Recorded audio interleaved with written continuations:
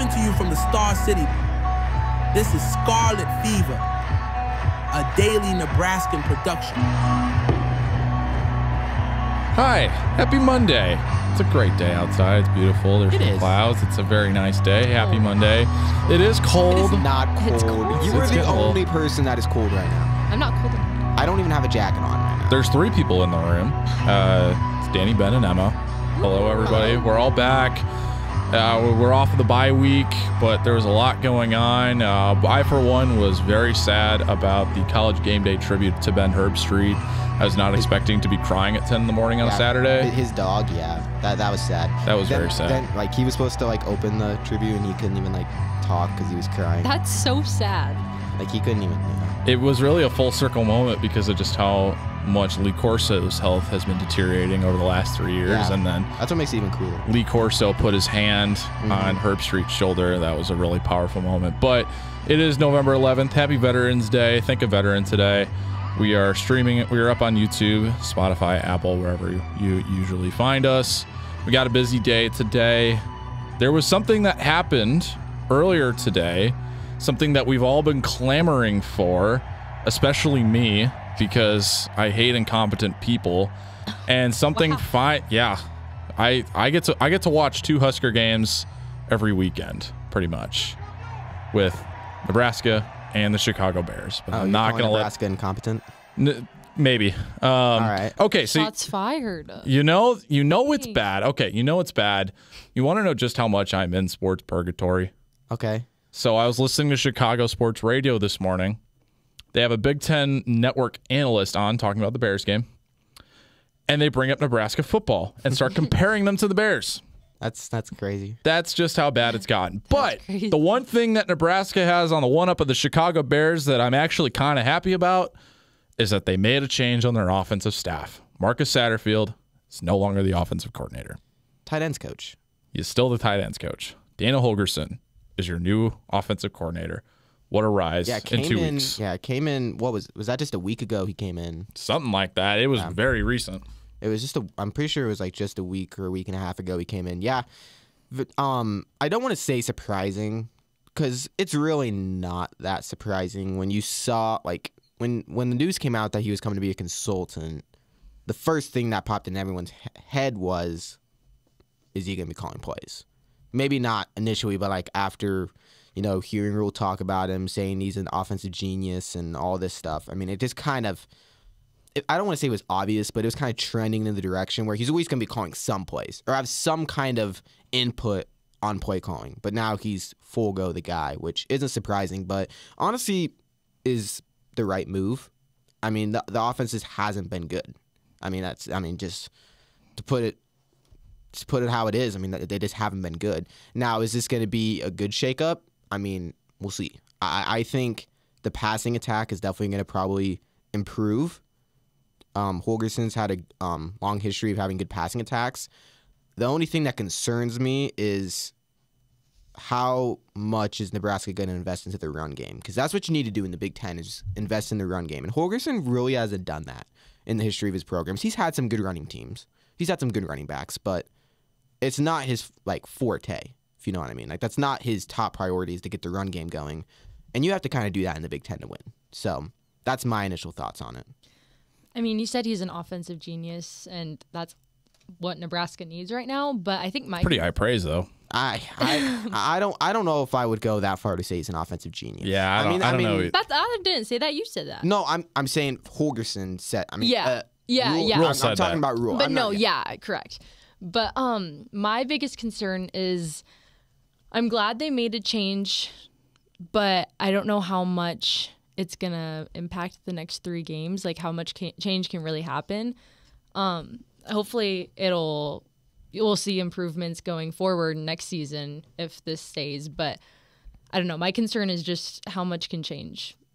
Well, it's gonna be interesting to see what happens, but look what Purdue did after Nebraska beat them Yeah. at the start of October. They they fired their OC and they went and they scored 49 points against Illinois the next weekend, almost upset Illinois on the road. But is that going to happen with Nebraska?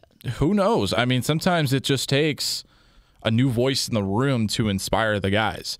I mean, I don't because I'm not in the locker room, so I have no. Obviously, Obviously, that's why I'm here. Um, we don't know if Satterfield lost lost the offensive locker room. We we don't know that. I, I prob- don't. I don't think it's that. probably probably not. But Rhule recognized that there needs to be a new voice there. I talked about I think it was last week after the UCLA game how Rhule is a primarily defensive coach. He needs to have a offensive coordinator who can basically serve as the head coach of the offense. And we saw through 20 games that Marcus Satterfield just wasn't it. And I give Rhule a lot of credit for I, I I mean I didn't think it would accelerate as quickly as it did, but I gotta give him credit for coming to the realization that this isn't working. We need to make a change. I want to save my job, so I need to do this. And I think it's a lot of faith to put in Dana Holgorsen to try and salvage what's left of 2024. I mean, yeah, they, they, they have a history, Rhule and Holgorsen. Um, I, I'm not going to jump on the boat of like praising Rhule for making a change because, I mean, to be fair, this this is something that just should have been avoided when you first came here. Satterfield was a questionable hire to start with. He's literally never had a top 50 offense, I don't think, in the history of his career. So it's just interesting hire to start off with. And now because you made a change final three games, there's like fans praising him and I'm not ready to go that far. And Rhule also said that he hope now it's not nothing is for certain next year, but he would said that he would like Holgorsen to also be the OC next year. And that's the that's the part that's concerning to me. It's not not more concerning, more like I just feel like you're if, if you just already lock him in for OC, you're not really leaving your options open to people that could become that could come available in the offseason.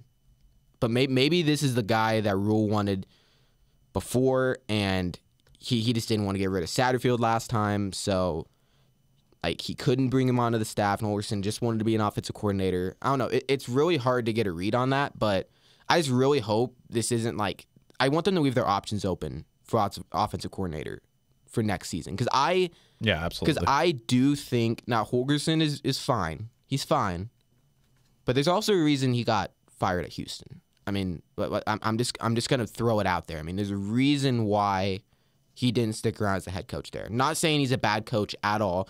Head coach and coordinator, two completely different things. Holgorsen, you can be a really good coordinator, but sometimes you just can't lead the ship as a head coach. I get that, but still, I mean, Holgorsen's not this perfect candidate, and I just want to make sure that they don't just close all their options at offensive coordinator because you can't tell me that a guy you can get middle of the season is the best guy that's going to be available in the offseason. Because usually Yeah. that's not how it works. I mean, there's there's probably a reason why no one picked him up. I mean, I mean, I don't know. Maybe he wanted to take the season off, and then when Rhule called him up, he was like, "Sure." I mean, you, you just don't know. I mean, there's just not a lot of information about it, but it's gonna be interesting. I mean, I think it's the right move for this season. I'm just not for sure for next season, but we're gonna get a good feel about you know next three games how it goes to see if he should stick around. Yeah, no, that's what I was gonna say. There's still three games left in the 2024 season, and I'm more of a like stick by the moment and not look that far ahead in the future. There's still a long time until the 2025 season, so I feel like you just look and see what happens in these next three games. Are there improvements? Do you get that sixth win? Does anything happen? And if not, again, keep looking for other options. You don't need to lock it in right now.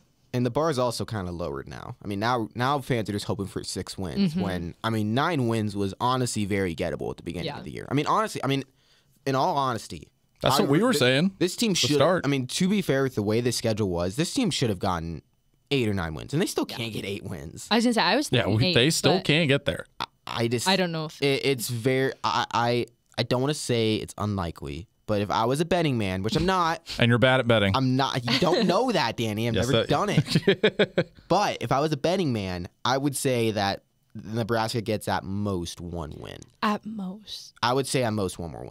That- I- that- that's yeah. that's where I'm at right now. I I- I think it would honestly be a miracle if they get two wins. Like I, I would literally say miracle, unless the offense just completely Like changes. 180. And but I just I'm still of the mindset that yes, Satterfield was part of the problem of why the offense wasn't performing, but there's also a talent issue on that end. I mean, there's a, I mean, it's clear. There's not really a running back that's a that's a game changer. The perimeter wide receivers have been struggling. They don't use the tight ends very well. I think the tight end room is actually pretty good. They just don't use tight. Mean, when was the last time we saw Carter Nelson jump off the page of this? No, he hasn't. Sent what? Did you score in the UTEP game or was that the I Northern? think it was you and Yeah, the, you, yeah, Northern Iowa game. Yeah, I, I don't know. It, I mean, the tight end room is good. I think. I mean, I mean, you got you got Fidone, Boerkircher, and you got Carter Nelson. Like those are three. I mean, they're not amazing, but like that's a pretty good group. And It's a solid group. Yeah. and they're just not. I mean, they're just not really p- producing. No, I've been saying all season, I want to see more out of the tight ends. Like, I get that, like, a big job for tight ends is blocking, but, like, com- coming from, like, I'm a Chiefs fan, and I'm used to just more of, like, a dynamic tight end who can, who also does a Oh, lot so you want a Travis Kelce on the team? no, I'm not necessarily, but like even Gray, like he's good too. Not to like, but like I've, I just want more out of the tight ends because Yeah, it is it. such a talented room. So I do want, like, I want to see more of them. especially when your quarterback is a freshman. I mean, um, uh, uh, they always say a, a freshman quarterback's best friend is a tight end, a really good tight end. I mean, just the safety blanket that you have over the middle. But they just haven't really been using the tight ends over the seam. I mean, they just haven't. I mean, Fidone's been going. I mean, they've been trying to do some of these tight end screen passes for Fidone. That's been kind of questionable in my opinion. Like, I, I don't get why they have Fidone going sideline to sideline. He should be going. he should be going vertically down the field. Yeah. Get him, uh-huh. get him down the seams. I mean, he, he's he's a. I don't want to say like. He's kind of a matchup nightmare for, for teams. I mean, I, I got to be honest. He kind of is. I mean, he he's big enough to, so a corner can't really guard him, and he and he's pretty decently fast. That a linebacker might not be able to keep up with him. I mean, he's not the matchup night like matchup mismatch that other tight ends are in college football. He, I mean, clearly he's not of the elite upper echelon of tight ends, but I think he's a pretty good tight end, better than what he's been doing right now. I mean, I really thought he was going to have a career year, uh, a career year this year, and he just hasn't yet. Yeah, no, especially like I've been saying I want or yeah, I've been saying I want to see more out of um Fidone because even in the off season they emphasize so much that like Raiola and Fidone have this connection. Like I think I was seeing all these videos like during practice of all their catches. So I thought he was going to be like a big key player throughout the season and like someone we saw a lot with catches and like receptions, but there's just not really been much. What I really want to see out of Dana Holgorsen is to complement the playbook to the players. Mm-hmm. You have a good tight end room from most of your accounts. The wide receivers have been struggling, but maybe there's something you just have to change there. The screen pass game, something's got to change there. It's identifying where your strengths and weaknesses are with the offensive line, especially your perimeter blocking, which just has not been all that great. It's trying to just, like I've been saying, tailor to your players and what you have and not trying to fit the players into a box. Mm-hmm. Because a lot of these players, especially on the offensive side of the ball, saving the quarterback, but your skill players are all relatively experienced. They've all had pretty solid experience. They've you you have a lot of transfers coming in who've been there, done that. So they have an avenue to do something productive, but they're being hindered a little bit. And I just really all I want to see is not trying to fit people into a certain category. Like you have to do this, you have to do this. What are your strengths? What are you good at? Let's try this. Let's try this. I think we're going to see a lot of experimentation. And I mean, Holgorsen's one piece of the puzzle, and Rhule, and Rhule said this that yes, okay, maybe Satterfield wasn't doing as good of a job as he should have been doing, but at the end of the day, the players are the guys that are going out there. Mm-hmm. I mean, if Satterfield draws up a screen pass and you need to block this guy and you don't block him, is that Satterfield's fault? I mean, maybe you maybe you shouldn't be calling as many screen passes because you know they can't block like that, but at the end of the day, if that's the guy you're supposed to block, go block him. Like, the players need to take some accountability. And, and Rhule said that. He's not one to blame the players, but he kind of at the press conference is like, okay, I did my thing. We got Holgorsen here. You, time for you guys to kind of hold up your end of the bargain. He didn't say it quite like that. I'm kind of putting words in his mouth, but he, in essence, that's kind of what I inferred from what he was saying. He, he was asking his players to kind of step up a little bit. Yeah. I mean, We've I think we've talked about it a lot before, but it's like you can't give Nebraska Alabama's playbook and vice versa and expect everything to go perfectly. But I feel like Alabama would get it done if they got Nebraska's playbook, whereas maybe the players wouldn't necessarily execute. You know, what I mean? like I don't know if you get what I'm trying to say. No, yeah, like you know, I mean, obviously, if it's better players, yeah. yeah, Yeah. it's like, but that's the thing is like one team's gonna like get it, and like not necessarily. Okay, don't take Alabama, but it's like one team might get it done, whereas Nebraska sometimes the players just don't execute. I don't know. I don't know. I had Yeah. it in my head, but And I like that. And Rhule has literally said publicly he hates it when coaches say we just didn't execute mm-hmm. because you're kind of just placing the, the blame on the players. Mm-hmm. He has really been adamant about not blaming the players, but I feel like he's having a really hard time not putting anything on the players because I mean part of the problem is that the players just aren't playing well. I mean, in all honesty, if the players just aren't playing well, I mean, a coach can only do so much. Yeah. The coach isn't out there, you know, playing. I mean, especially on, I mean, even go to the defensive end. If if Tony White and them you drop, you're supposed to be in the B gap. The B in the B gap. Like Rhule said that he's like, if you're supposed to be in the B gap, be in the B gap. Like, I mean, it's just like we make it kind of seem like rocket science, but sometimes it's just literally as simple as just be in your spot, and sometimes the players just aren't there. And, and I mean, that's just, and that's on the players. That that's not a coaching thing. I, I'm not wanting to blame this all on players because it's everything. I- I mean, the reason Nebraska has lost what four four straight, yeah, Yeah. four straight, is it, it's been a whole systematic failure. It, it hasn't been just the coaches, hasn't been just the players, hasn't been just play whatever. It's been a whole systematic failure. Coaches, players, top down, everybody. They everyone is the fault for why this team is on a losing streak, and it's up to all of them to fix it. Not just Rhule to go out there and have to make a new different coaching hire. Okay, now we're magically gonna get three more wins. If the players keep playing the same, they're not. It's Nothing's not gonna. It's not gonna change. It's not gonna change. Now UCLA, the the loss to UCLA is looking less and less as bad.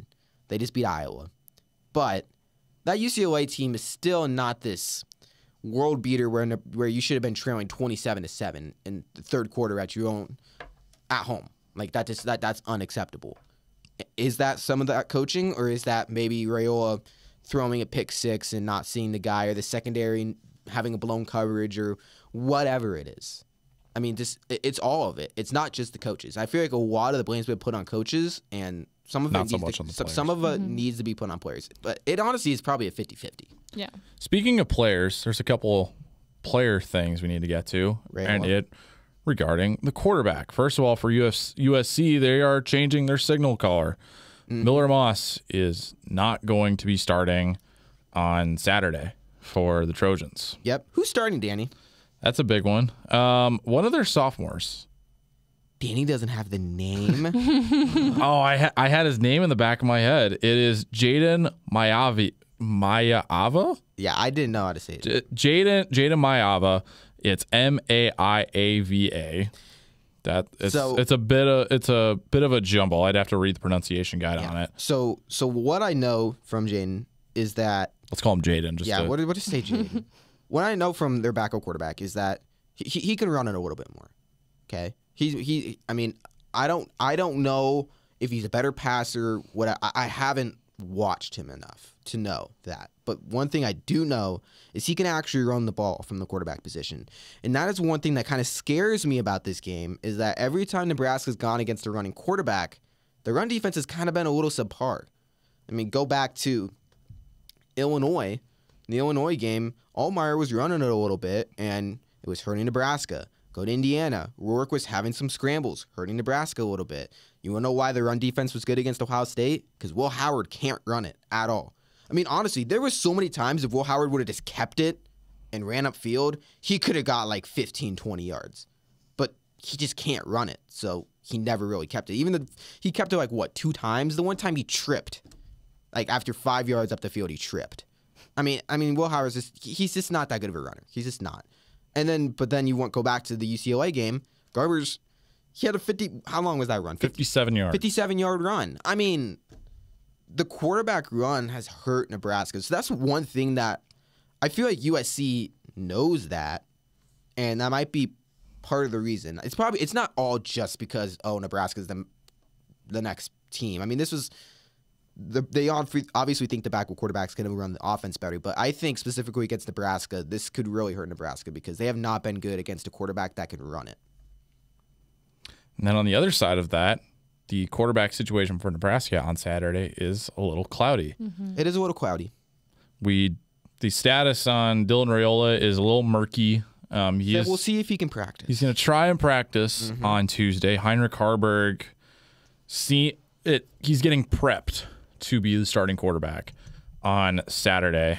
But so here, here's my question to the both of you. Uh-oh. Would you rather have a no, don't do that. no, no, no, we are we are doing this. In this situation, would you rather have a fully healthy Heinrich Haarberg or a 75% Dylan Raiola? Danny, why do you do this to us? Wait, Okay. Mike. Wait, can I ask a question? Yes, before- you can. A question to um, the question? Yeah. Do you think that it'll be all all Raiola or all Haarberg, or do you think Yes. it'll be back and forth? No, it'll be one. It'll the other. it'll be one of the unless one gets hurt and then obviously Yeah. the other one will go. But okay, so Danny, to answer your question, honestly, against USC specifically, I honestly do think that it'd probably be better for Haarberg to be quarterback. I got to be honest. USC is not a team that can stop the run that well, and I really believe if Nebraska would just hammer it at USC, just run it down their throats. Haarberg running it, get some option going, get Dowdell going. I really think that Nebraska can make this a very close game, a game that Nebraska probably wins. But now your offensive coordinator is Holgorsen, a guy that likes to throw the ball more, especially downfield. And if Raiola can go, he's gonna go. I mean, I just I have no doubt in my mind that Raiola, if Raiola can go, he's he's gonna be the one that's gonna go. Especially now that Holgorsen is the guy. He wants a quarterback that he thinks can be prolific throwing the ball, and that's Raiola. Haarberg looks fine throwing the ball. He's improved from from last year, mm-hmm. but still, I mean, he's not Raiola throwing the ball though. I mean, he's some of the throws Raiola makes is truly incredible. Now we can say Raiola struggled a little bit reading some defenses, blah blah blah, whatever. You can't deny just the physical attributes that Raiola has. So to answer your question, I do think for this game specifically, Haarberg would probably be better just because of the team you're playing, and they're a little bit suscept- susceptible to the run. But I'm gonna guess it's gonna be Raiola, and they can still get the run game going even without Haarberg. I mean, you don't need Haarberg to get the run game going, but that's just my opinion. Yeah, no, I kind of agree. I think Nebraska needs one more win, and I don't. I honestly don't know where you get it the rest of these games. And I think the earlier the better. I don't want it to come down to against Iowa and you're still at five wins. But I think not only everything that Ben said, but also I think that Haarberg brings just experience. Like Dylan is a freshman, and so I I agree. I think I would prefer Haarberg at this point, but I think if Dylan is fine and ready to go, he'll But to be honest, I mean, y- you just can't really see this team benching Raiola if he, if, if he can go. if he's healthy, He can go. but he's going. Yeah. I mean, but you don't want Raiola to be hurt, obviously. But I mean, if there was some kind of trepidation of not, I don't even know if I said that word right, but if there's some a little bit of um anxiety, trepidation. Trepidation, there you go. I I knew I said it wrong. if there's some kind of you know worry about you know want, not wanting Raiola's like feelings to get hurt or whatever, wanting to risk lose him because you bench him, this injury can maybe be kind of a blessing in disguise to be like, okay, you're not 100. percent Let's sit you a game to let you get fully healthy and see what Haarberg could do. I mean, th- this injury could kind of be a way for the coaches to get to see Haarberg in a full game. I mean, it, it really could be like that. And to justify Raiola not playing. Exactly. I mean, and, and That's the big thing. would Raiola be happy if he could play and then they don't play him? Probably he probably wouldn't be happy. But I mean, you you could you could twist it in a way and being let's just let you get fully healthy. I mean, you're just a freshman, like.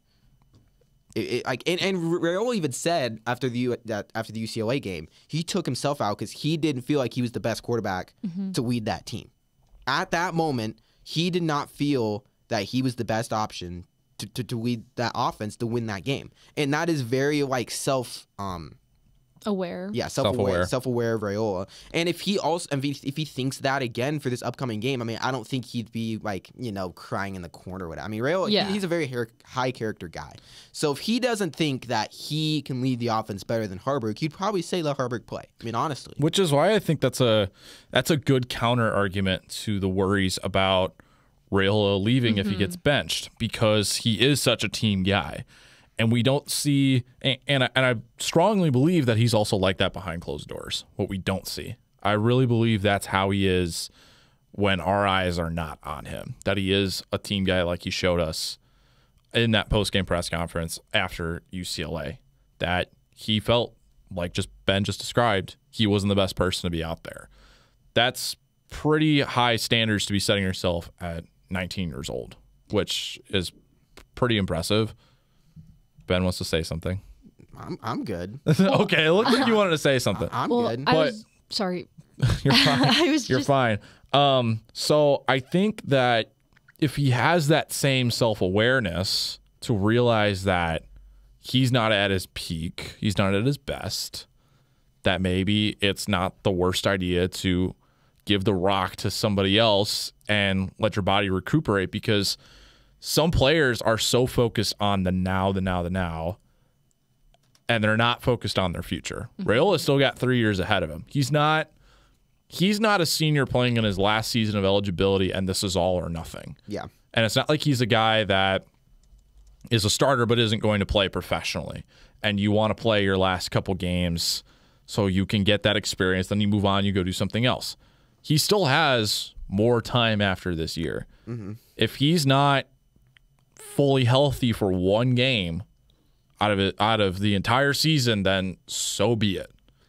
Yeah, I, I really believe that if Nebraska didn't have a backup quarterback they were confident in, that Raiola would for sure be the starting quarterback. Like I, I truly believe if he has to go out there this Saturday, he could probably do it. Now we don't have really any. I mean, we probably won't get an update on Raiola until Rhule talks to media on Thursday.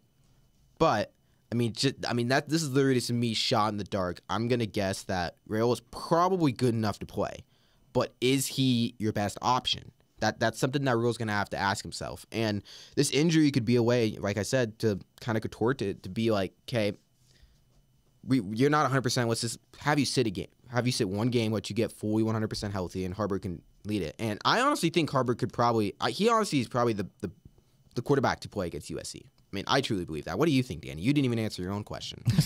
I'm kind of with you, although I think that while it probably will be Raiola playing, what I really want to see if it is Raiola playing, and I do agree that I do think that it, it should be Haarberg this week, no matter really what it is, just skill wise, that's just how it matches up. But if Raiola plays, I want to see Haarberg out there a good mm-hmm. amount because we give him a lot of credit for his running ability, but I don't think enough people do. He can run the ball pretty well. Um, I think that Holgorsen is going to take a look at Heinrich Haarberg and he's be like, okay, this guy's got, we, we can design a package of plays for him and see what he can do. I mean, we've we saw enough of Heinrich Haarberg running the ball last year to know that he's very serviceable being able to move the ball on his own with his feet. So I and especially when your running back room is as stagnant as it is, maybe Haarberg isn't the sexy choice to go and be the running back. Family show. Family show. Oh yeah, there, that's that's that's a thing. um, maybe he's not the the best player to you know the, the traditional pick to go um, be the guy to get a bunch of touches, but he's shown that he can do it. I don't think it's a bad idea to at least entertain the idea. I think the chances of Haarberg coming in in packages got even smaller with Holgorsen coming in. I, I just, I just got to be honest. I think, Okay. I think the probability of that happening is even lower now. I, I just don't, I don't see a world where Rhule and like I, I- they're just wanting to bring Haarberg in for you know like what what what what, what would you want like ten plays? Like I mean I mean it, it's really I mean it's interesting. I mean and we thought about at the beginning of the year should should Haarberg come in to start the run game up, but the run game has been better the past few weeks. than it was at the beginning of the season. It's slowly improving. So, and part of that is the the passing game is just not great. And I mean, if you bring in Haarberg, the passing game is probably not going to get any better. And I think that's the thing that they need to improve. I mean, they say they want to improve their run game, improve their run game. I think they just need to lean on the run game that more. I mean, I honestly think they just need to lean on it more. But get the pass game. Like the passing game is what needs to get better. The running game just is what it is. There's not really much you can do to improve your running game. Just like, you know, okay, we're gonna only just like we're just gonna do all these different kind of run plays. Like you just run it, you know, inside zone, either outside, inside, pitch, whatever. I mean, there's just not much you can do to change up the way you're running the ball. It's what are other factors that can make it easier to run the ball. And that's if you can get this passing game going, it'll help their run game. And that's kind of I feel like I, I think that's kind of the hope um, with Holgorsen coming in to try to get the passing game going. So before we go to pro- projecting a little bit more of the game, we're going to switch gears so, because there's a sport that's back. Nebraska ball has returned.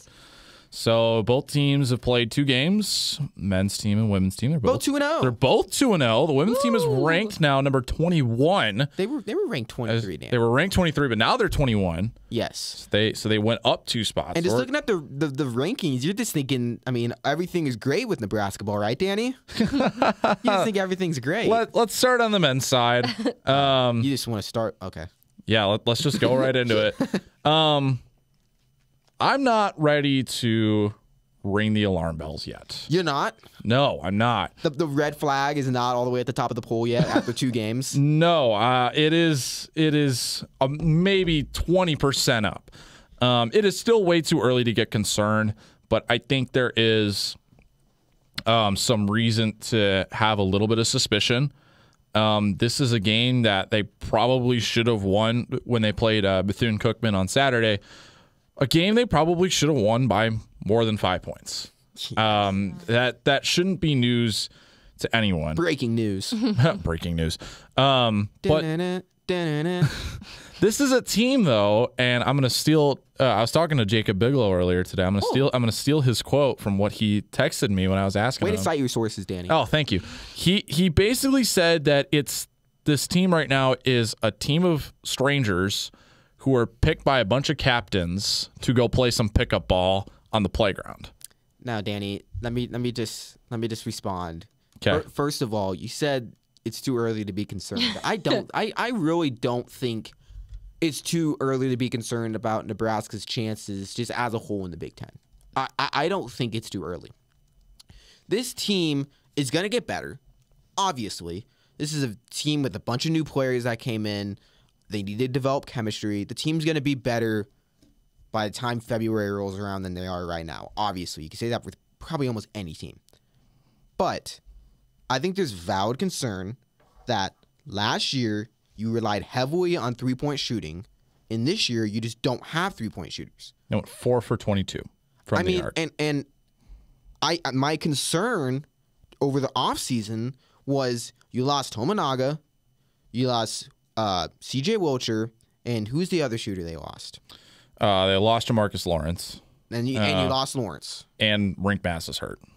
I mean, so so that's why. I s- So Lawrence, Tominaga, C.J. Wilcher. Those are probably your three best three point shooters last year.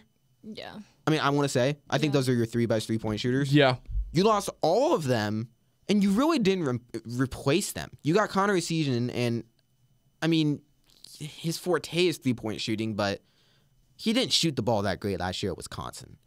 I mean, and this is kind of the thing, and this is a football and basketball conversation. You're like, oh, we got somebody from Wisconsin. Wisconsin's always been good, you know, basketball. Oh, we got this player from Texas or this player from blah blah blah, this ex big school. You want to know why they're leaving those big schools? It's probably because maybe they got casted off. And I think if these bigger teams wanted to keep these players, like really wanted to keep them, they would have kept them. I mean, I'm just stating the obvious that I, I think there's a reason that they're leaving these big schools. The way you build teams right now is not going to picking up the, the left, leftover scraps of these big big time schools. It's going in the, to these smaller schools and picking up their good players. What did Indiana do? They didn't go get some guy that got fired from a big Power Five school. They went and got Curt Cignetti, who was coaching James Madison. we're talking about football, by the way. I now we're talking about football. I get it, but still, Same idea. it's same idea. No, for yeah, both. no, it's same I'm- idea for both though. Very much and, and so. He brought in a bunch of James Madison players, good James Madison players, like players that are actually good, not these cast-offs that I mean are not. It's not that they're terrible, but I mean, uh, James Madison's best players are probably better players than the guys that got quote unquote rejected from these big time schools. I mean, honestly, they pro- they're probably better. I mean, I, I feel like teams get so caught up in, in name brand, but I got that is a little bit off of a tangent, but still, a. But it's relevant. No, I think it's very he, I mean, relevant. he, he, he's an okay three point shooter. He, he can be a huge part of this team if he can get the three point shooting going. But he showed last year that he struggled a little bit from behind the arc, and that's kind of his forte. So you have questions there, but they just don't have shooting, and that and that's that's the problem. they went 19 for 55 from They- the field. They didn't improve. Saturday. I want to let you guys talk, but they didn't improve enough on the defensive end to overcome everything they lost on the offensive end. You didn't replace Keisei Tominaga.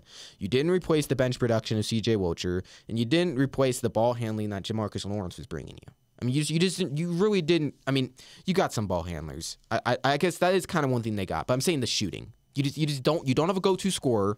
Bryce Williams is is kind of that, but he's not a perimeter scorer. You don't have a go-to perimeter scorer, and you don't have guys that can catch and shoot. That that's trouble for I mean disaster. I mean this team could easily be middle of the pack or like a top edge of the top five. I mean right now I would say their ceiling is like fifth or sixth in the Big Ten.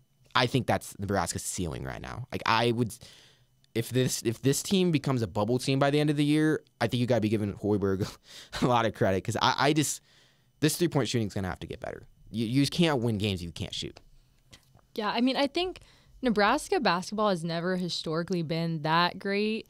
And so Really? I've never heard of that. Hmm, who would thunk it? I used to get made fun of in I went to school in Iowa because they wouldn't even make the NIT, you know? And so I think the past year or so, they've actually been making really good improvements and they've been performing pretty well.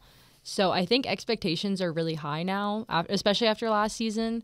And just looking at the stats and looking at the score and it doesn't make me too confident. No, and I'm going to push back a little bit on being super concerned right now. I I I Where, okay, where where are you at on the concernometer? I'm on the concernometer that people thought this was a team that could come back and make it to the NCAA tournament, and as it currently stands, and just you know projecting for how much can this team improve by the end of the year, I just don't see this team getting to the NCAA tournament. Okay, That that's my level of concern. This can still be a fine season. No, You're yeah. middle of the pack team. I'm I'm not at that point after a week of the season. I if we're at this same, I think that this week coming up is going to tell us a lot. it will. They have a they have a couple gauntlet games coming up when they have to play St. Mary's and Creighton in two games in about six days. I can't even believe you uttered the word St. Mary's. I had them making the Final Four last year, and they didn't do anything.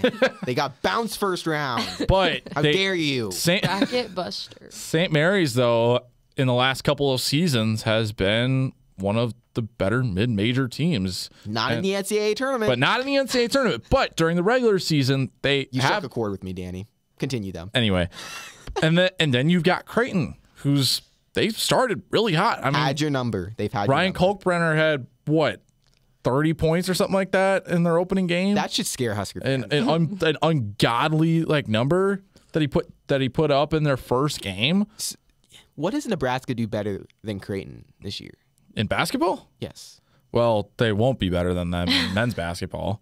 That's for sure. But this, this is what about this is what I'm saying. Like I, I just I really don't see any chance of Nebraska winning that game. I- I, mean I get it's a basketball game. It's not like football where I mean the uh, the team that's worse can go out there and win. Yes. That's the less talented go out there and win easily. But I- I, I just they, they don't have any they don't have the post play advantage. They don't shoot it better than them. We'll we'll get into that a little bit more next week. we will, but, but, uh, we will we will. I'm not ready to say like all is lost. They're they're not making the tournament. I haven't like, said that. I was gonna say I don't think either of us are at that point. I I think there there is some cause for concern, but I'm not ready to say that like this is going to be a struggle this year just because it's they've only played I think four games, games that that Yes. includes games that's counted mm-hmm. and games that haven't counted. So they're still trying to figure themselves out. I mean, we got to remember that this is a, and I love that Bigelow said this that this is just a team of assembled strangers for the most part. Fred Hoiberg loves the transfer portal. And that's the, that was where I was wanting to go just to wrap up this entire conversation is the transfer portal. When you rely on the transfer portal as much as Hoiberg has, you, you're going to get some really good years and you're going to get some pretty bad years. I mean, that, that's just, and that, that's not just basketball. I mean, that's also football. I mean, go and look at Colorado. Colorado was not good last year. They look pretty dang good this year. I mean, you just when you rely on that, you just have such an up and down team, and then when things get bad early, it can easily you can easily lose the team more than if you know build it from the ground up and you have guys that have been there for three, four years. It's not as likely that the team's just gonna fall apart after a losing spree. Like Nebraska, you wanna know why that not all hope is lost for the Nebraska football team? they have a lot of guys that have been there for four, five years that have been through the thick and thin of all of that's happened with Husker football, and you think hope that they could pull out one more win to get a sixth win. But with this basketball team, you have what three returning players? Not, that not- actually not, that actually contributed. Yeah, not counting Mast this year, but it's really Bryce, Juwan, and Hoiberg. yes, pretty much. And Hoiberg's not even really a big big part of the team. So you really Not just a have, huge part, yeah. You really just have Bryce Williams and Juwan Gary. They've been playing meaningful minutes that are coming back from last yeah, year's meaningful minutes. Yes. So I mean, you, you just, I mean, this. I said this. It wouldn't surprise me if this is a top five team. After watching the first two games, I'd be a little bit surprised. But also wouldn't surprise me if this is a bottom three team in the Big Ten. I mean, it just it just really wouldn't surprise me. I mean, when you just rely on the transfer portal so much, it, it's so hard to predict how the team's gonna lay out because you just don't know how they're gonna play together. I think that the next two weeks are going to tell us a lot. Yes. um, and then we'll get a better grasp on I think where this team is heading into Thanksgiving. We'll have a better idea going into December. I think that while the first two games were a little troublesome, I think that there's a lot to learn from them for sure. But the competition has not stepped up just yet. And I think when they play St. Mary's in what's essentially going to be a home game in Sioux Falls, um, and then they have to go to Creighton. Um, that's going to show us a lot about where the, about how far this team has come, and just where they're at.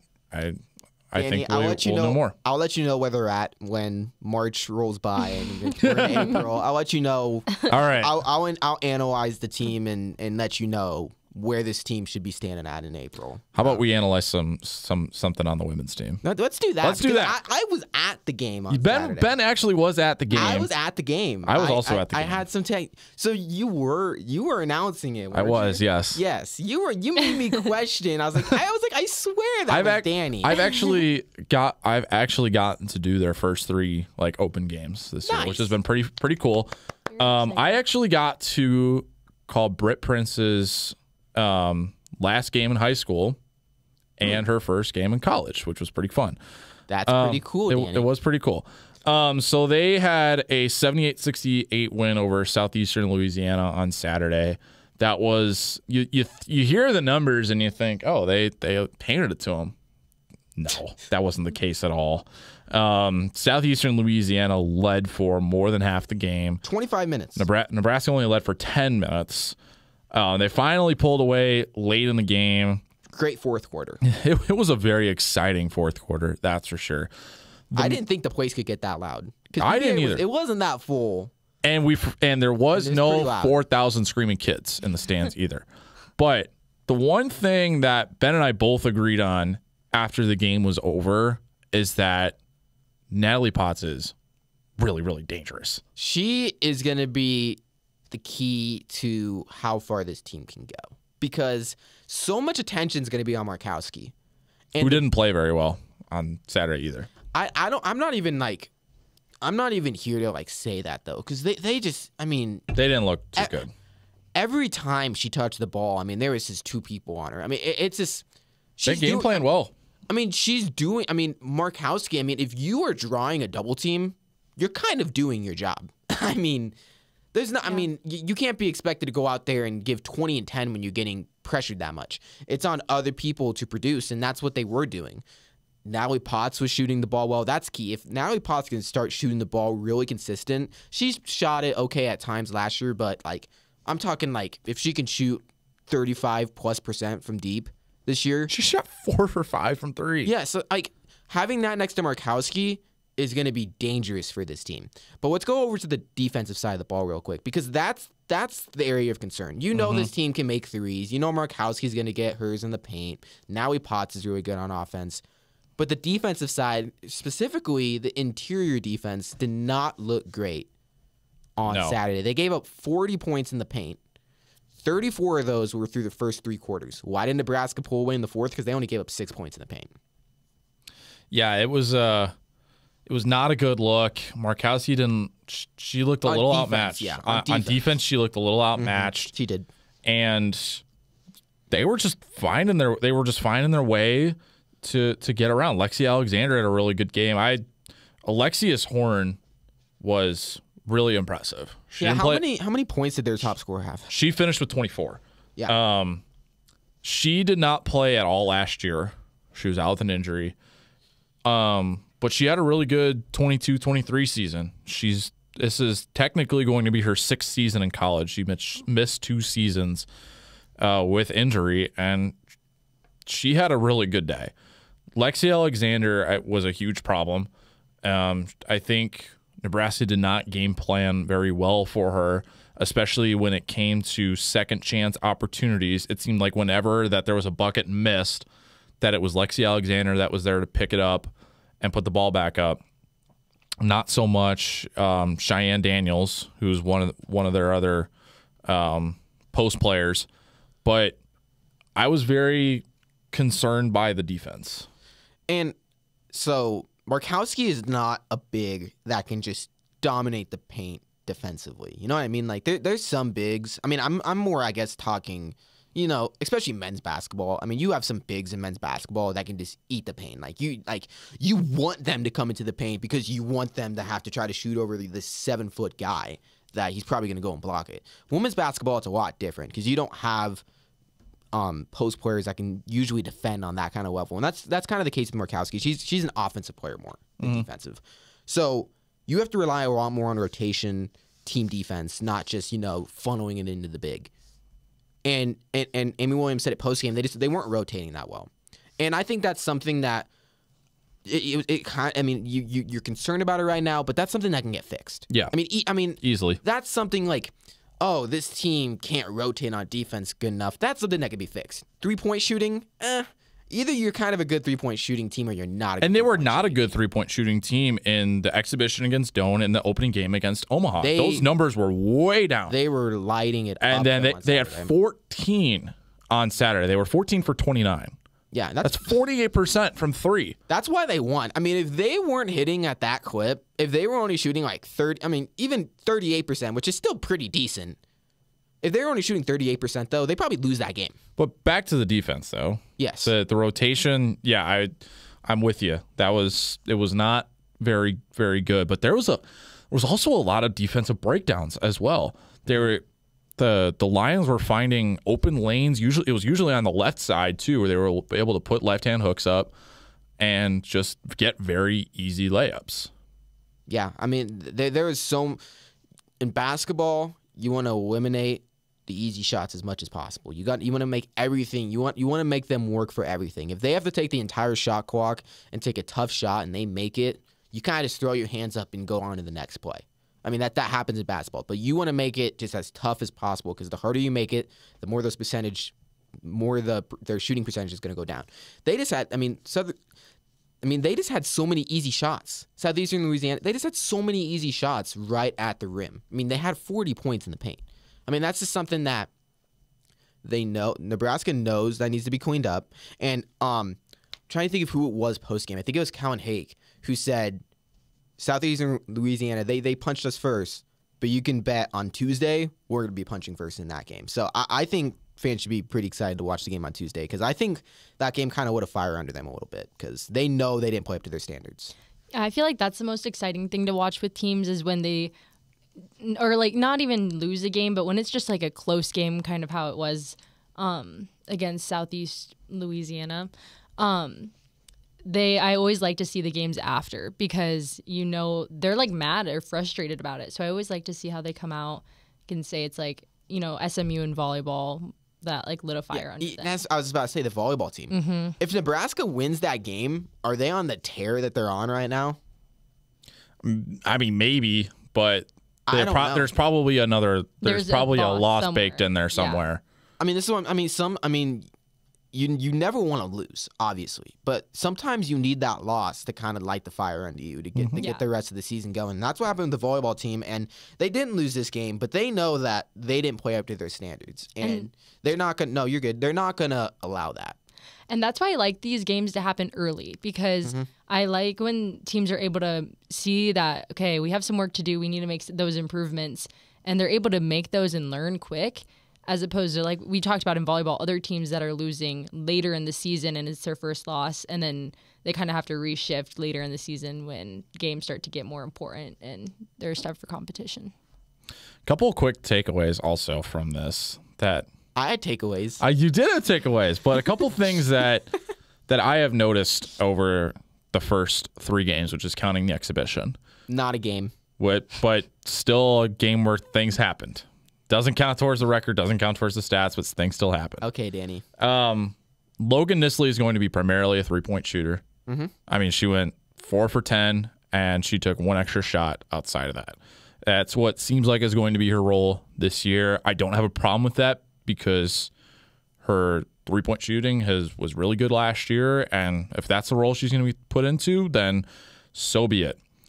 Petra Bozan might be the most surprising player so Yeah, far she hit both Um, threes. bef- before I expand on that, it has, and we saw this similarly with volleyball when Olivia Mauch broke out, Laney Choboy's playing time went down. Same thing is happening with Jess Petrie. I think that there was a lot of room for Petrie this year to continue to grow. I thought that she was going to be the heir apparent to where Markowski was, and that by her junior year, she'd be playing a lot of valuable minutes. She only played five minutes on uh, on on Saturday, which the way that she's been used, when you look at that just in that perspective, is a little surprising. But then when you consider how well Bozan's been playing, it doesn't even you you can't even put the two together. Bozan has not missed a shot from the field all season. No, she and and She's missed one shot from the free throw line. That's it. a big part of this team has always been survive when Markowski is on the bench. Survive the non-Markowski minutes. I feel like that's. I, am I wrong to think that? Like, like it's always been survive when Markowski is not on the field. You don't need to like. You're not even looking to go plus. You're just looking to go even. Like you're just just survive it, and that's with every team's best player, obviously, but especially a post player, survive without Markowski. I feel like this team is very well equipped, equipped to. When Markowski's on the bench, they have some players that can actually give some pretty good production. Yeah, absolutely. And the f- not having Britt Prince playing on Saturday, um, I think we got to see more of what Berde Rimdahl can bring. Yep. Um, I think she's going to maybe force her hand into the starting lineup once Prince gets back. I think that Prince's spot in the lineup is pretty safe until she loses it. Yes. Um, Allison Weidner's play was a little concerning. Um, You, you want to talk? So we we can get into that, but I think that when like the second team offense is out there, I think Rimdahl's going to be your main scorer. Nisley, I, I she's probably going to be playing or shooting a lot from beyond the arc. I would like to see her get inside a little bit more. Maya Hargrove has also been a nice surprise to see as as well. She she was getting burned up pretty bad on the interior on defense, but on the offensive side, I didn't- I didn't think she played too terribly to to start out. Mm-hmm. But Weidner's the main my main takeaway on just when you're talking about individual players, especially on offense. It's like, okay, I want to cut her a little bit of slack because she hasn't played mm, literally like li- in in basically a year and a half. yeah. But there comes a time and a place to like, okay, we can't cut you this slack anymore. I mean, I'm. I mean, we're in the second second game of the season. Danny wants to say third game of the season, but we're in the second. All game. right. We're in the second game of the season. Um, I mean, Weidner's gonna get better. She just. I mean, you have to shake off the rust. But my bigger question is is there someone on this roster that can replace Jaz Shelley's value that she brought? Not all of it, but I'm saying replace enough of it to where it's not going to hurt Nebraska this season that they don't have a guard that can really score on the perimeter. Is there is that player on the roster? That's what I don't know. And I think when you're talking about production, point scoring, that's where I think Britt Prince fits in. I, I think that's the closest maybe they. I think that's the closest they have. Yeah. But when you're talking about general point production, Natalie Potts has taken a huge jump. And that's been very evident in the first week that Natalie Potts is going to be one of their go to scorers. I mean, she was last year too. There's a reason she won eight Freshman of the Week awards. Mm-hmm. I mean, The she- next the next closest had three. Yeah. She should have been player player of the year for for the freshman across coaches and media. I still don't really understand how she didn't get it from the media, but she still got nonetheless from the coaches, which I think matters just matters a little bit more. But that's another thing. Um, We don't I- have time for that. we don't we don't have time for that. Um, I think that she's going to be more of an option. I've really liked what I've seen from Berde Rimdahl to start. Her shot is very very pure, and her mechanics are are really great. I think we're going to see more minutes from Bozan. I've been Yeah. very impressed with her. When you consider the fact that she didn't even sign with the team until the day before the fall semester started this year, and she really wasn't in the cards over the summer. You you add that into there, and I mean, all training camp, she was kind of viewed as a wild card, and she's come out and she's. I mean, yeah, it's it's not Big Ten opponents. It's Omaha who hasn't really played all that well, and but then Southeastern Louisiana. I remember talking after the game to who I was calling the game with on the radio, and we were like, "This team will probably win the Southland Conference." That, that, that team wasn't bad. No, that's, what- they're not bad. th- th- this, that game was not like a oh man, that, the, you only won by ten. blah, blah. I mean, that's not at all what that game was like. But it was kind of a wake up call. Yeah. To be like, okay, we have some Nebraska has some stuff that they need to improve on.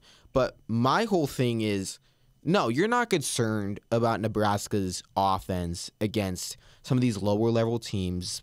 Their even offense is going to the- be fine. even middle of the pack. I'm talking about this team's aspirations is NCAA tournament. How many wins can you get in the NCAA tournament? And all those games are going to be close. And when you need a game bucket at the end of the game, who was the go-to person last year? It's Jaz Shelley. It, was Jaz Shelley.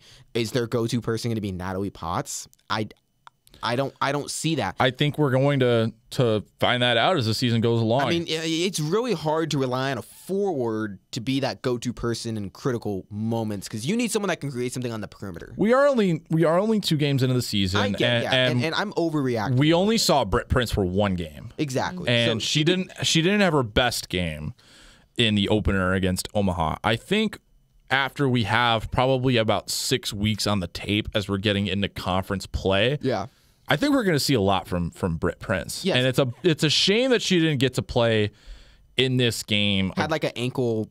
Yeah, she was thing. she was nursing the the right ankle. She had a brace on. She was in she was participating in shoot around before the game, and she looked pretty okay. You, she was a little ginger on it, but You don't want to. I mean, you don't. We're not gonna we're not gonna speculate. Um, but I think she would have made a bigger impact on this game than we probably give her credit for, just because she didn't play. But I think for everyone around her, I mean, Rimdahl and Nisley both finished with 14 points apiece. I think that for the second team offense, at least, whatever shape or form that that goes in, is going to be pretty good. Yeah. And not a lot of teams can say that. Amy Williams, and this is probably going to be pretty crazy to say, but not necessarily when we look at it in this scope. She kind of has an embarrassment of riches. Everybody on this team can play. Everybody gets everyone who's healthy will play. Everybody does. That's just how she's worked her team, and it does work. Yeah, it worked last year. Everybody can contribute. Um, but yeah, I mean that. I mean, everyone is playing their roles, and that and that's the thing. I mean, the the main thing though is can someone be that alpha just on offense? That's what I think Britt Prince is going to be. and and if that's Britt Prince, then I mean, I think you got a really good team. I mean, that's that's literally my only concern is does this team have a go-to scorer? Because I mean, you know, Markowski's going to play good. Potts is really improved. This is a good three-point shooting team. All of that, but Um, the defense is a little concerning, but I think that'll get better. But Yeah. it, it's that go-to. That'll work itself out. I think we're going to learn a lot though in the next in the next three weeks, especially when it comes to Prince's development. you want to go to U- at Nebraska USC? Let's do that for a couple of minutes. Um, very, Are we very giving score predictions? sure we can do score predictions. Uh oh, I didn't come prepared. I didn't either. but you know what? I'll throw one out there. So, right. Are we just doing that right now? or We can do that, sure. Okay, so um, Nebraska coming off a bye, playing USC, who also came off a bye. Um, USC's record, what are they? Four, four and no, they four, four and five, four and four, four and five. I want to say. I don't know. I'm stupid. I think they're four and five. Don't say that. That's not I think they're four and five, off the top of my noggin. Um. Let me check on that for you. USC has not been great this year. Like they looked really good. Four and five, you're right. They looked really good at the beginning of the year. Beat LSU. Everyone was like, "Oh man, is this gonna?" I mean, this is a ranked team. Then they barely, um, they they barely lost to Michigan, right? Yes, that was yeah, they barely game. lost to Michigan, and then the season kind of just is falling apart a little bit for them. Um, but I mean, this isn't a. They're not a bad team, and They've also faced some adversity. they, they, they have. They have. Um, but you Nebraska having to go to LA to play USC coming off of coming off of a bye week, and we saw the last time Nebraska having to travel on the road after a bye week. It didn't it didn't look too great. Now that was Indiana. Indiana's a really good team, like really really good. Yeah. USC is not that. I think we're we're pretty confident that USC right now in this season is not as good as Indiana. I think I would go to the grave with that statement. So wow. Nebraska should this should be a competitive game. Like there, there's no world where USC should come in and beat Nebraska by two scores or whatever. But I really feel like this game is going to be dependent on can Nebraska get the run game going. I mean that that's what it is. And what can get the run game going? Is it going to be an improved passing attack? Is it going to be the offensive line playing a little bit better? Get some the running backs, um, Dowdell continuing to get more consistent. I mean that that's the question. I don't mean to jump in on this, No, but I think good. they think this is important to to add to Add, the Danny. scope. Is that if you if USC does not win this game this week, they're probably not going to a bowl game. If they lose to Nebraska, they will have UCLA next, which is basically a home game, no matter if they play it at the Coliseum or the Rose Bowl, because UCLA fans just don't fill the Rose Bowl. And then they have to play Notre Dame at home. We've seen how good Notre Dame has been. I, for one, am very happy about it. Danny, we don't need to hear that. But but but I'm saying is is that USC is probably not going to beat Notre Dame. They're already four and five. If they don't win this game, they're probably not going to go bowling. Um, And that and that's even with UCLA looking better. my my only thing with this is I, I just you just don't know how much this USC team really even cares about that though. I mean, I'm I'm, I'm sorry to say that, but like And that's They- unfortunate they- to say they- for a Lincoln Riley team. they they just I mean, they just don't look like a team that's just fired up to try to get that sixth win. And you can kind of say the same thing about the way Nebraska played against UCLA. I mean, they, they didn't look like a team that was dying to get their sixth win either. I mean, so it's kind of both teams. One team's going to get a win. One team's either going to get five wins and hopefully get one more in USC, or one team's going to be bowling. Like, one team has to get pushed over the edge. One team has to Like, win the game. One team has to win this game. They can't both lose. What team is going to be the team that um, gets out of its own way? Because I feel like both of these teams have kind of gotten in their own way a little bit. USC's had a harder schedule, but Definitely. they, I mean, both teams have kind of gotten in their own way a little bit. So it's, it's going to be a really interesting game. I kind of expect it to be a little bit of an ugly game. I'm not going to say it's going to be as ugly as like the Rutgers game, but like this isn't going to be a pretty game by any means for Nebraska. Just like the UCLA game was, it wasn't wasn't pretty. I mean, not, what what Nebraska game has been pretty? Colorado. I mean, they- Sure. they, they haven't had a Sure. pretty game. So, I, I mean, this is pretty obvious for me to say. But if I was going to give score prediction, I think this is going to be a decently high scoring game. I'm not going Which to say by like by the 30, way, I think this might be the first game of the year that we disagree on. Oh, that that we all disagree that we like unilaterally will disagree agree on because the o- I think the only game where we disagreed on was when Rutgers. what was Rutgers and you were the one to center. Everyone else picked Nebraska. You picked Rutgers. And and I think that's the only one so far where we haven't all agreed on the same thing. I think there's going to be more of a split split this week. there's gonna be more of a split, and I still stand by that Rutgers pick because that game could have went completely different. All I mean, come on, anybody. Okay, whatever. Yeah, If Don't live in the past. if Rutgers just scores at the two yard line, that Nebraska is they're in toast. Yeah. But Powder toast, Um, man. but for this game, I think this is gonna be a decently high scoring game. But I just it's just it's so hard to predict this game because you don't know what the offense is gonna look like under Holgorsen. And that like this has been this is the hardest game for me to predict because I, I just I have no idea what's gonna happen. It wouldn't surprise me if Nebraska went out there and won by two scores. It wouldn't surprise me if USC went out there and won decently either. So I- I'm gonna though go with my gut, and I'm gonna say I just think USC is just the better team. I, I really think they're just the better team. This is kind of similar to UCLA. Be like, oh, but the record's not that good. Well, look at who they've played, and this is a team that's based in LA. They have some talent. I mean, if you are if you are UCLA or USC, you have talent on that team. There's no way you can be an LA team, a, a, a power five, four, whatever we want to call it, power a Power power, four. a power conference school from LA and not have talent. So they're gonna have some talent, and it, it, I just I think it's gonna be kind of I don't want to say it's gonna be similar to the UCLA game, but this is this is gonna be a fight.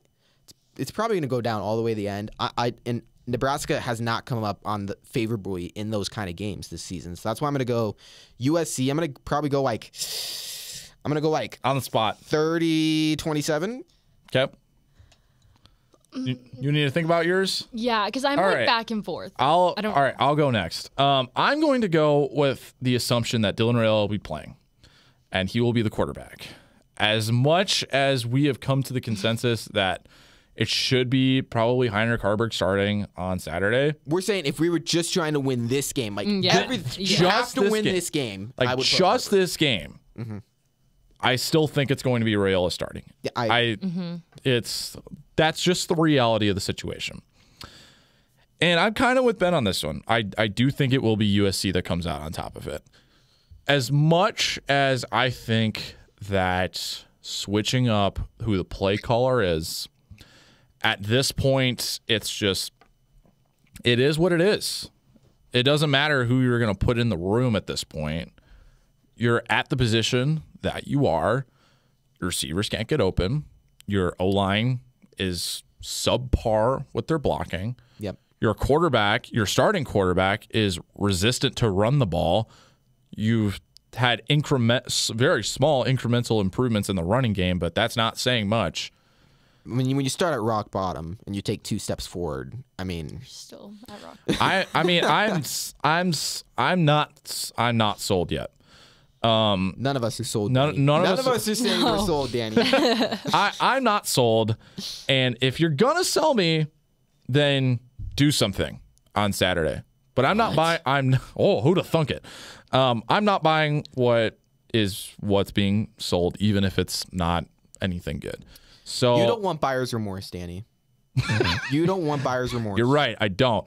Um, I think that pulling Miller Moss is going to. I think that that's what's worrying me about this game, honestly. Yeah, I think that's going to do some good for for USC. I think the fact that Lincoln Riley is going to have someone new that he gets to throw out there is going to be uh, a little entertaining for him, and he's going to and something different that Nebraska has to prepare for. Exactly. And that's why I'm giving USC the edge in this one. I think that's one of the reasons. And this this might seem like a totally random thing to throw into this, but teams traveling from the Midwest to the West Coast have not fared well.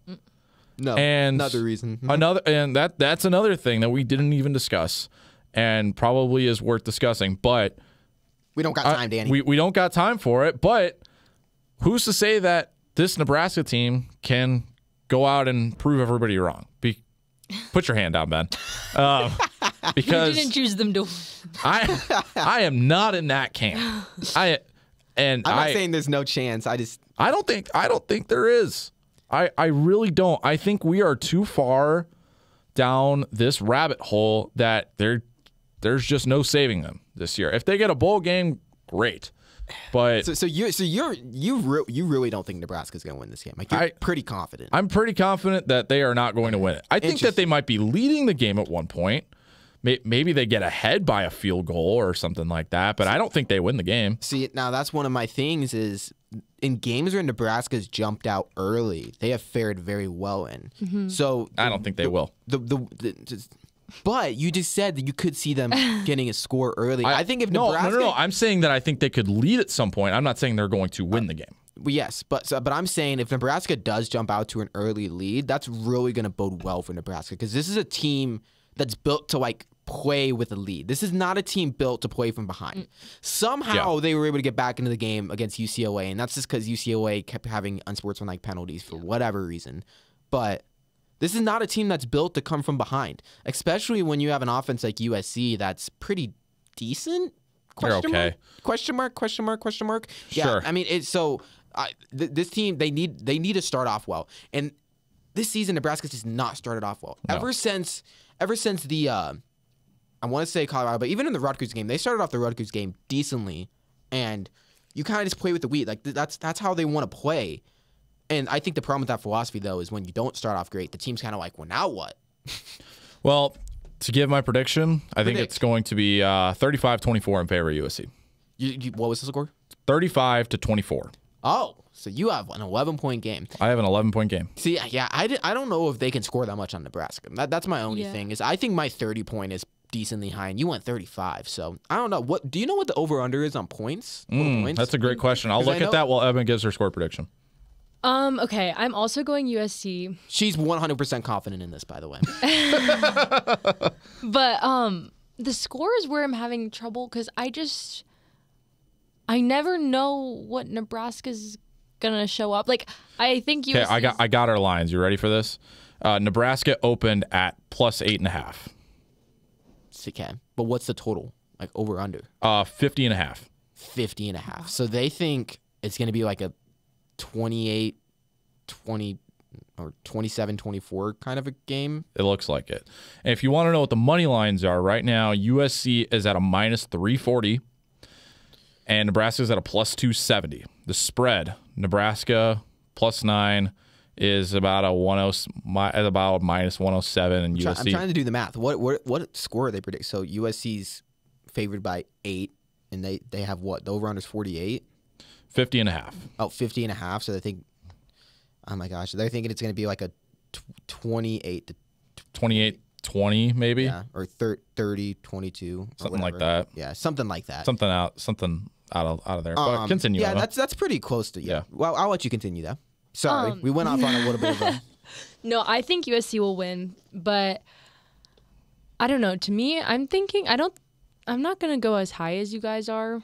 Wrong. I'm She's saying, smashing the under. I'm saying 21-28, Okay. but I Okay. do think USC will win. I just I don't see Nebraska. I don't see where they win the rest of the season. I don't. I mean, but to be That's a fair, very fair I- point. so coming after the UCLA game, I was fairly confident that Nebraska was not going to win another game. I could see them maybe winning one more, but to be fair, USC hasn't looked good this season. Wisconsin is just eh, and Iowa just lost to UCLA, and they were having to play like their fifth string quarterback that was like a linebacker or whatever. So Yeah. I mean, that just that, like all these games are games that you got to think Nebraska has a shot at winning. It's not like it's not like Ohio State's coming in here where you just you just like they're going to be like 20 point dogs or whatever. Like all these games are going to be v- close games that Nebraska could be barely underdogs in. Like I, and and that's if if Nebraska fans want hope, which I feel like that's what all Husker fans want right now, is just hope. Is that I mean the last three teams they're playing just aren't that good. I mean I just got to be honest. They're just th- these are all winnable games. To me, like the last, I don't know the last time Nebraska beat Wisconsin. Like I get that every team's They're, they've lost their last like. I think the last games. ten, I, the last ten games they lo- they've lost against Wisconsin. That's why I'm just like, I get that they're not as good, but I just still don't buy it. And then like yeah, Iowa, but then I, I don't know. I just don't. See, the thing that scares me about the Iowa game is it's, It's at, at it's Iowa. at Iowa. Wisconsin's really had your number, and you're traveling to USC. Mm-hmm. That's so I mean, I and, and and yes, the, I see your concern, and honestly, I am concerned. Everyone should be concerned that this team might not get to a six win. Like, they're like we're not out of line here to be like, oh, well, Nebraska might not make a bowl game. Oh, who would have thought of that?